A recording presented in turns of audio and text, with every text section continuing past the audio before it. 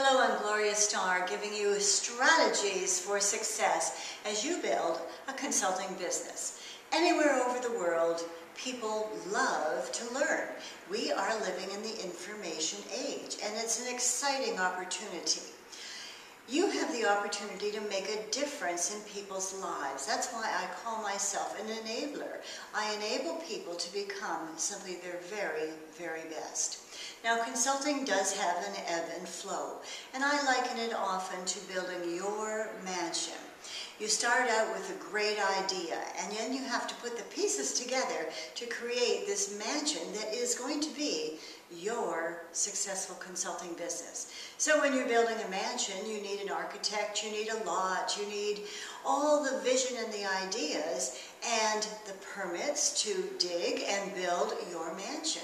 Well, consulting is somewhat similar to that. You start with a vision and a passion, and whatever your subject matter is in consulting, people need it.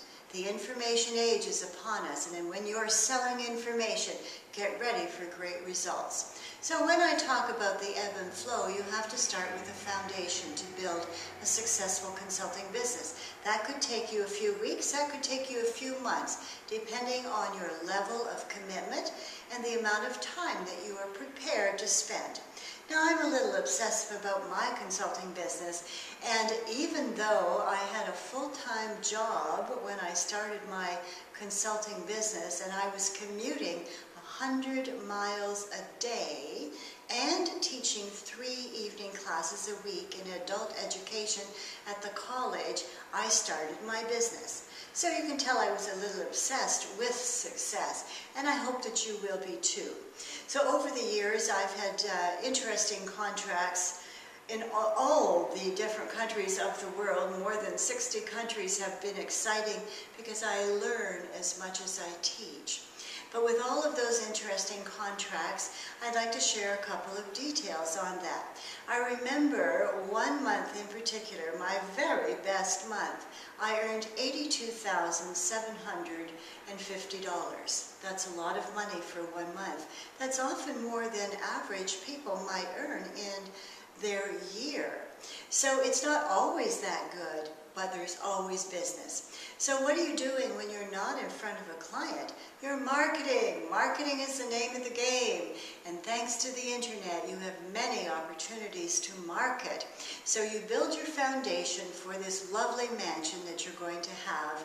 And your consulting business is marvelous because no matter what your age, need to retire because people will value your opinion more with the extra years that you've had in consulting. So I personally have no need to retire and I love the work so much that why would I retire? So whether I'm on the ski slope or out hiking and camping in the woods or staying at the most elite hotel in the in the world, I just check my phone and my messages online and I know when a client needs me. It's important to always be available for the client. And because our world is so globally connected through the internet, 24 hours a day, that's my life. Gloria Starr, helping you become a better consultant.